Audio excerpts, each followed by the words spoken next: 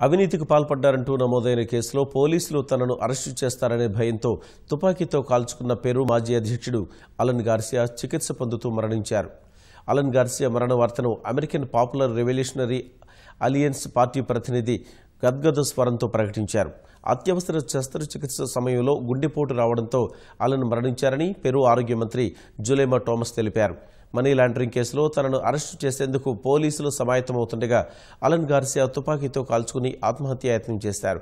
పంతొమ్మిది వందల ఎనభై ఐదు నుంచి పంతొమ్మిది వందల తొంభై రెండు వేల ఆరు నుంచి రెండు వేల పదకొండు వరకు పెరు అధ్యక్షుడిగా పనిచేసిన గార్సియా బ్రెజిల్ నిర్మాణ దిగ్గజం ఓడి బ్రెచ్ సంస్థ నుంచి భారీ లంచాలు తీసుకున్నట్లు ఆరోపణలున్నాయి. అలన్ గార్సియా మృతిపై విచారం వ్యక్తం చేసిన పెరు అధ్యక్షుడు మార్టిన్ విజ్కర్రా బాధిత కుటుంబానికి ప్రగాఢ సానుభూతి తెలిపారు.